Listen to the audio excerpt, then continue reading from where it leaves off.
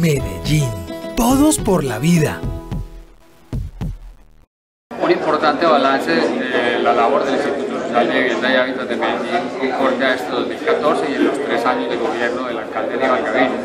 Más de 17.000 empleos generados en vivienda durante este tiempo, lo que ha contribuido enormemente a bajar los índices de desempleo en Medellín.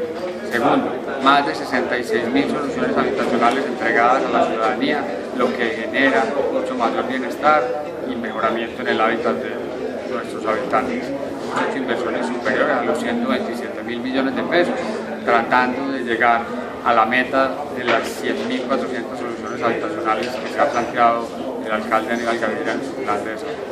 En titulaciones y legalizaciones hemos hecho un esfuerzo enorme, llevamos más de 20.000 familias beneficiadas con esto y esto supone también una tranquilidad enorme para estas familias, para que ya accedan a su propiedad y a tener los títulos de sus propiedades viviendas. de vivienda llevamos más de 7.700 en lo que va corrido del gobierno.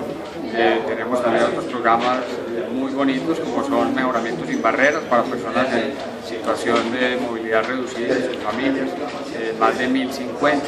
Tenemos también Retornando al Hogar, un plan muy bonito está enfocado en personas desplazadas por la violencia y lo estamos ayudando a retornar a sus lugares de origen.